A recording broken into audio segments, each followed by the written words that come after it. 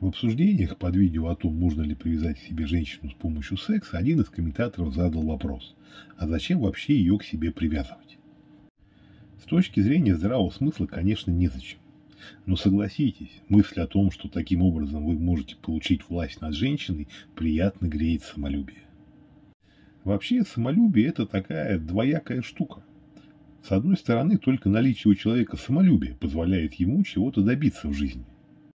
А с другой стороны, больное самолюбие является причиной того, что человек становится зависимым от чужого мнения и совершает поступки, которые ему самому, кроме вреда, ничего не приносят. Если вы будете кидаться с кулаками на каждого мужчину, который на вас косо посмотрел, подрезал на дороге или написал вам плохой комментарий, и каждой женщине, которая назвала вас не настоящим мужчиной, будете доказывать, что вы все-таки настоящий, то, поверьте мне, деньги и здоровье у вас очень быстро закончатся.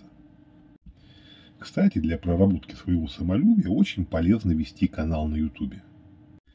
Когда ты видишь, сколько народу тебе пишет гадости в комментариях, хотя ты им для этого не давал никакого повода, то начинаешь гораздо спокойнее относиться к тому, что о тебе думают окружающие.